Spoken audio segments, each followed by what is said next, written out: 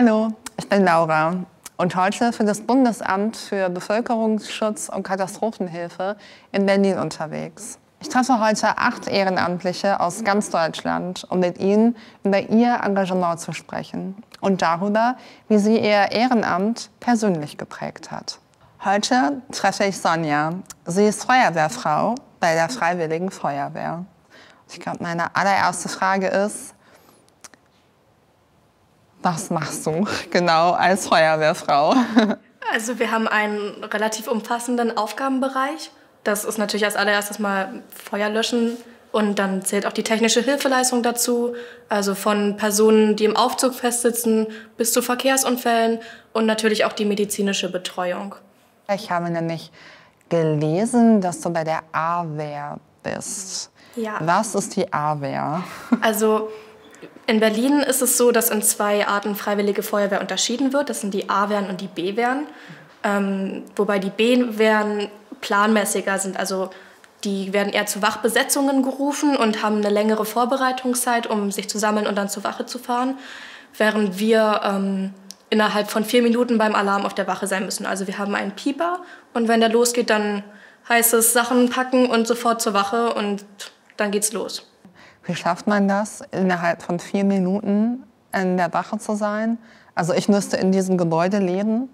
Äh, um ja, also man muss sich schon ein bisschen darauf vorbereiten. Das fängt schon damit an, dass man seine Sachen zu Hause irgendwie deponiert, dass man sie möglichst schnell hat. Und je nachdem, wo man halt wohnt. Also ich wohne ein bisschen weiter weg. Es gibt auch Kameraden, die wohnen direkt gegenüber von der Wache. Die haben es natürlich einfacher.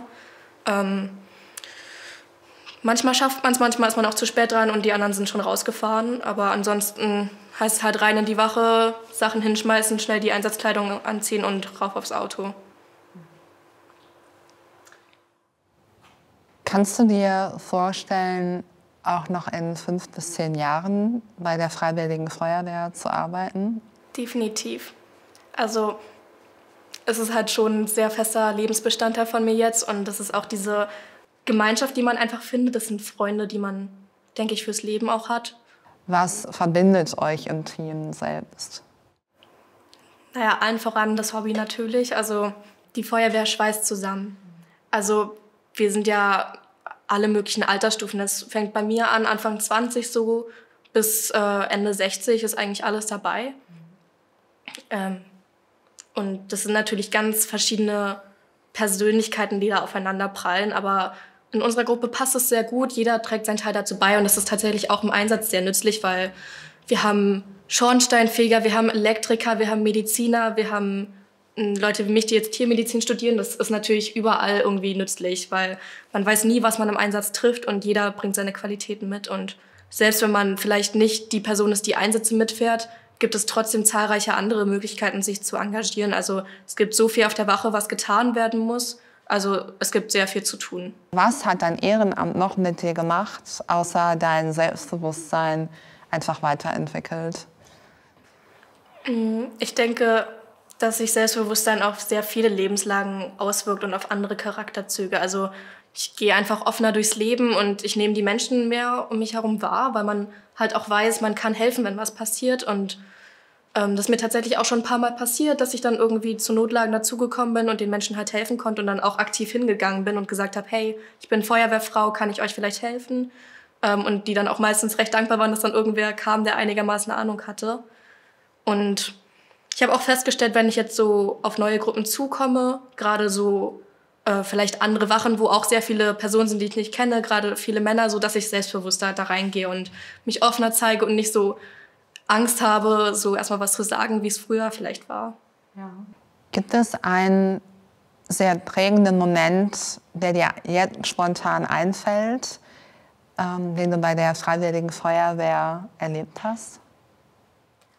Ich glaube, als erstes würde mir meine erste Reanimation einfallen. Da war ich noch nicht lange bei der Erwachsenenabteilung drin und das war die erste Person, wo ich selbst auch quasi mitgedrückt habe und mit beatmet habe und selbst Hand angelegt habe. Und die Person ähm, ist auch wiedergekommen.